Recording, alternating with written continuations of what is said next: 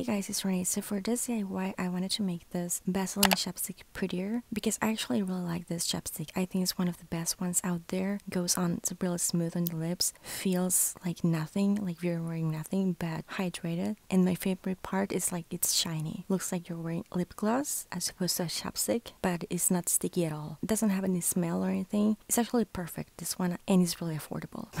I'm kind of like giving you a mini review of this, but I really like it. And you can actually refill it. Like for instance, I'm almost done with this one, but I have a new one and I'm gonna refill this. Just place the new one and that's it. And so because I can do that, I'm gonna be decorating one. I'm gonna open it and I don't want it to dry.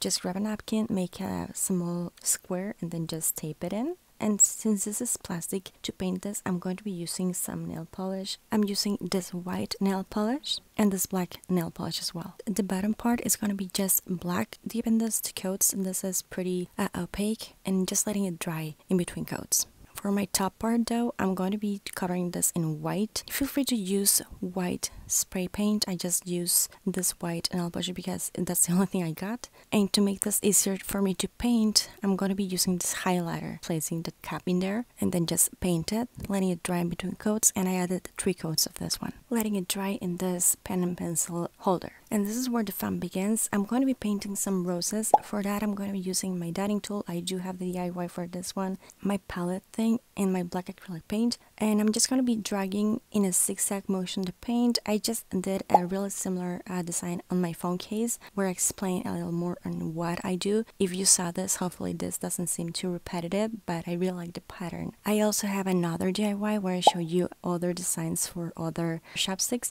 Those are from like other brands. Feel free to check those out. But for this one, I'm going to be um, covering this in roses all over. And then I'm going to be using some gold paint and this other dotting tool that is actually a toothpick. But this toothpick is like cutted, so it's like thicker. And this is a toothpick holder, but I'm going to be placing uh, dots all over the place. I'm going to be adding some like sparkle with this glitter. They're actually really cute. Grabbing one glitter by one with my dotting tool and just placing those glitters in like the empty like spaces or wherever I feel like I need, you know, some shine. I'm going to be adding some gloss. The one that I'm using is a nail polish gloss. I'm adding this to protect the design and to make this whole thing glossy and like smooth. But yeah guys, this is what this chapstick case we could say it looks like. I actually love it. I really like it. I'm glad I went for it because I'm obsessed with how it looks. I think it looks vintage, classic. Again, if you use on this chapstick like the Vaseline one, you can refill it. It's actually really easy to paint.